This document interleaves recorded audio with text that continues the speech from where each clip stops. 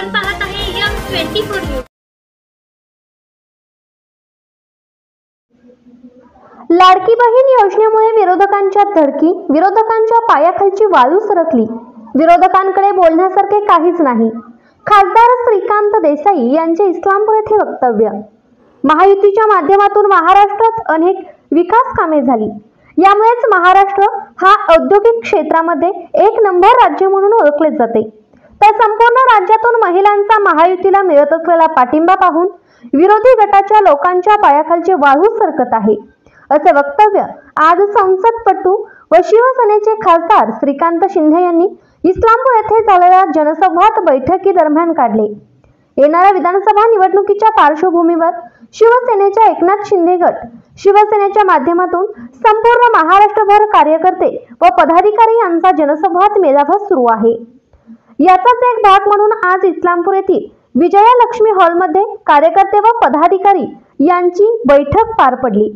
या बैठकीला खासदार राजश्री माने माजी खासदार शेवाळे जिल्हाध्यक्ष आनंदराव पवार तालुकाध्यक्ष सागर मलगुंडे हुतात्मा उद्योग समूहाचे गौरव भाऊ नायकवडी पदाधिकारी व कार्यकर्ते मोठ्या संख्येने उपस्थित होते. या बैठकी दरम्यान उद्धव ठाकरे गटातील शिराळा तालुक्यातील दोनशे महिलांनी आज शिंदे गटात प्रवेश केला. बघा आता विरोधकांकडे दुसरं काय उरलेलं नाही. तर ही गोष्ट झाली की त्याच्यावरती खालच्या स्तरावरती जाऊन राजकारण करण्याचं आणि या महाराष्ट्रामध्ये law and order situation create करण्याचं त्यांचा प्लॅनिंग आहे आणि ते करताय. पण मला वाटतं की आपण जर अगोदर अडीच वर्ष जेव्हा सरकार होतं तेव्हा जे काही कामं केली असतील तुम्ही तर जर घरी बसून राहिली. सगळी कामं बंद केली. आणि या दोन वर्षामध्ये महायुतीच्या माध्यमाने जेवढी सगळी कामं झाली इन्फ्रास्ट्रक्चरमध्ये तर महाराष्ट्र नंबर वन आहे. समृद्धी महामार्ग असेल एम टी एच आर असेल कोस्टल रोड असेल सगळ्या नगरपालिका महानगरपालिकेमध्ये मोठं निधी देणं असेल चांगली कामं असतील शेतकऱ्यांच्या मागे उभं राहणं असेल शेतकऱ्यांना अनुदान देणं असेल युवकांच्या मागे उभं राहणं असेल त्यांना नोकऱ्या देणं असेल या सगळ्या गोष्टी दोन वर्षांमध्ये एवढ्या मोठ्या प्रमाणामध्ये झालेल्या आहेत. आणि आत्ता लेख लाडकी बहीण योजना. लाडकी बहीण योजना आल्यानंतर तर त्यांना एक धडकी भरलेली आहे. ही लाडकी बहीण योजना इतकी सक्सेसफुल कशी झाली?